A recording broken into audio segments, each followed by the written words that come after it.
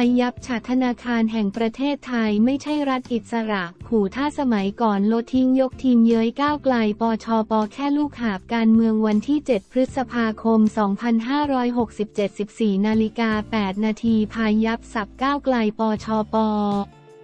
ทำตัวเป็นลูกหาปกป้อง แบงชาติ แบบไร้เหตุผลชี้ธนาคารแห่งประเทศไทยไม่ใช่รัฐอิสระ ต้องรับฟังรัฐบาลเพื่อแก้ไขปัญหาประชาชนเมื่อวันที่ 7 พฤษภาคม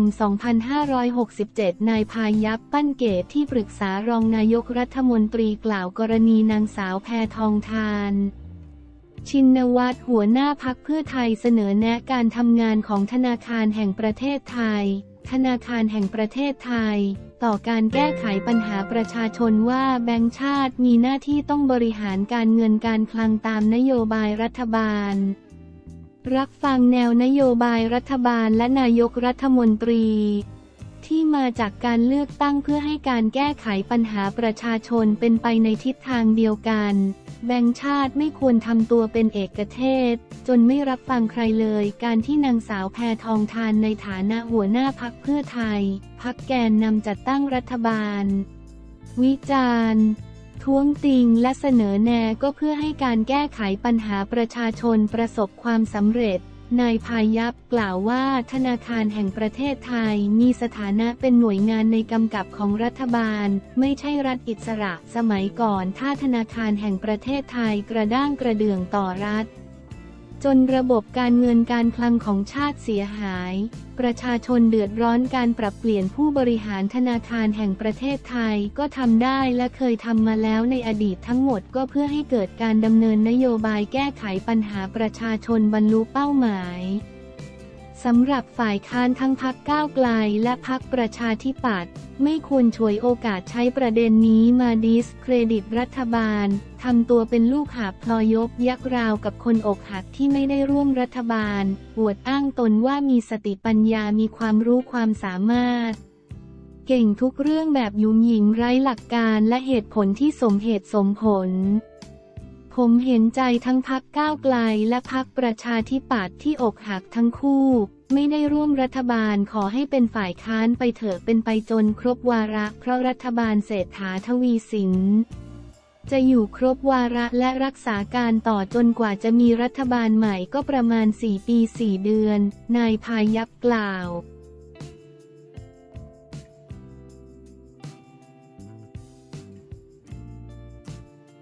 ออมสุชาพร้อมแต่งงานแล้วแค่รอผู้ชายมาขอแต่ไม่ซีเรียสเมื่อไหร่ก็เมื่อนั้นบันเทิงวันที่ 7 พฤษภาคม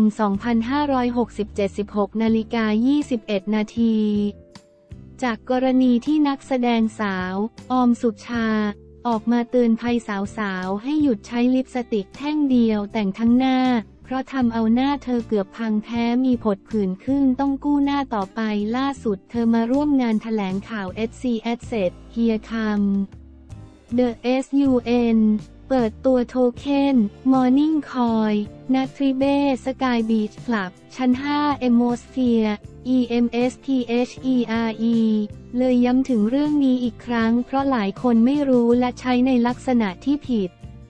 และนอกจากนี้ สาวออมยังเผยถึงเรื่องความสัมพันธ์ กับไฮโซแอมพิธานว่าตอนนี้ก็แฮปปี้มีความสุขดี ส่วนเรื่องแต่งที่หลายคนเอาใจช่วยนั้น เธอก็รอให้ฝ่ายชายมาขอทุกอย่างแล้วแต่พี่แอมเลย ความรัก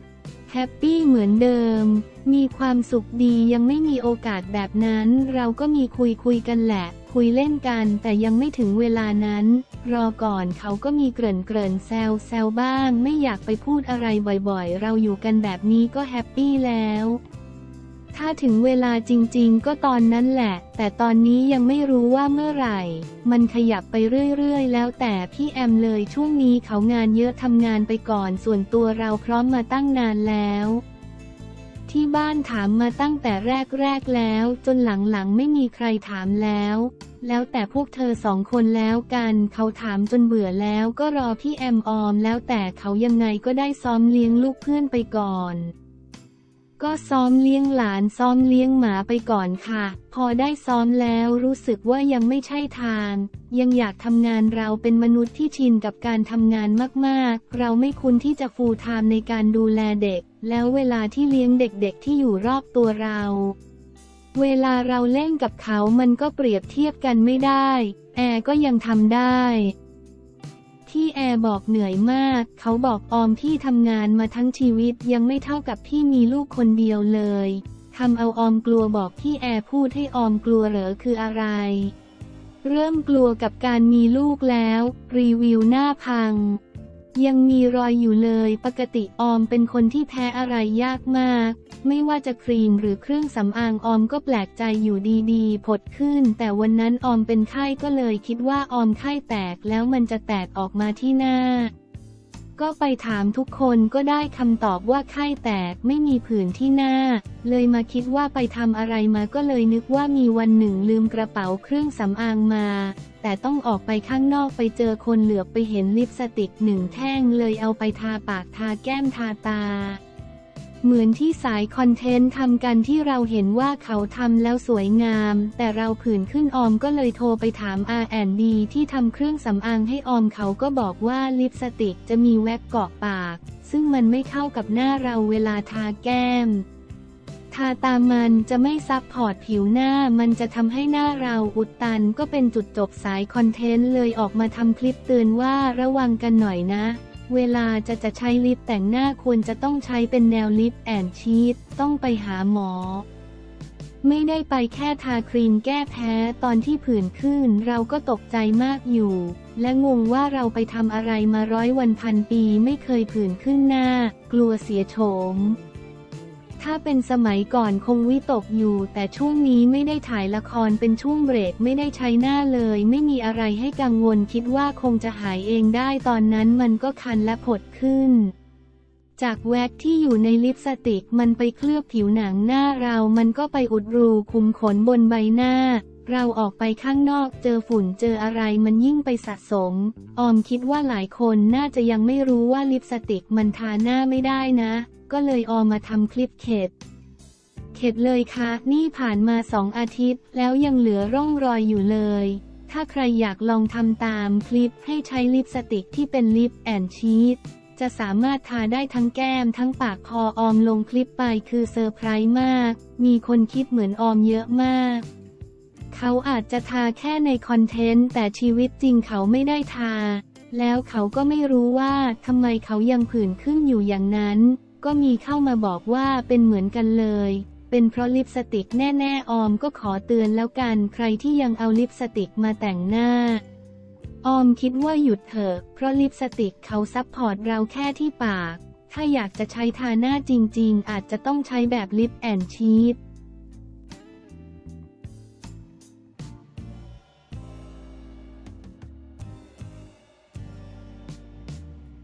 เผ่าภูมิ ลุยประชุมดิจิทัลวอลเล็ตสัปดาห์นี้ ยันรัฐบาลไม่มีแนวคิดแก้กฎหมายแบงก์ชาติ การเมืองวันที่ 7 พฤษภาคม 2567 15นาฬิกา55 นาทีเผ่าภูมิรัฐมนตรีช่วยว่าการกระทรวงคลังลุยประชุมดิจิทัลวอลเล็ตสัปดาห์นี้ ยันรัฐบาลไม่มีแนวคิดแก้พรบแบงก์ชาติเตรียมหารือดูแลเงินเฟ้อหลุดกรอบ วันที่ 7 พฤษภาคม 67 นายเผ่าภูมิโรจนสกุลรัฐมนตรีช่วยว่าการกระทรวงคลังเปิดเผยว่า ขณะนี้ยังไม่ได้พูดคุยกับนายพิชัย ชุนหาวชิระรองนายกรัฐมนตรีและรัฐมนตรีว่าการกระทรวงคลังถึงเรื่องการแบ่งงานว่าใครจะดูแลงานด้านใดบ้าง ซึ่งคงต้องดูความสามารถและความเชี่ยวชาญของรัฐมนตรีช่วยแต่ละคนที่แตกต่างกัน เพื่อมอบหมายงานให้มีความเหมาะสมและประโยชน์ต่อประชาชน โดยเฉพาะการดำเนินโครงการดิจิทัลวอลเล็ต10,000 บาท ที่จะประชุมคณะกรรมการนโยบายโครงการอีกครั้งภายในสัปดาห์นี้ และคาดว่าจะมีความชัดเจนเร็วๆนี้ นายเผ่าภูมิกล่าวว่า โครงการดิจิทัลวอลเล็ตต้องทำงานร่วมกันเป็นทีม ทั้งรัฐมนตรีว่าการและรัฐมนตรีช่วยทั้งสามคน ซึ่งทุกคนต้องเข้ามาดูแลในเรื่องนี้ เพื่อที่จะดูแลในทุกแง่มุมของโครงการ ส่วนที่นายพิชัยระบุหลังจากนี้ดิจิทัลวอลเล็ตจะถือเป็นงานประจำของกระทรวง และจะชี้แจงให้ประชาชนทราบความคืบหน้าต่อเนื่องนั้น ที่ผ่านมารัฐบาลสื่อสารโครงการกับประชาชนอย่างต่อเนื่องอยู่แล้วว่า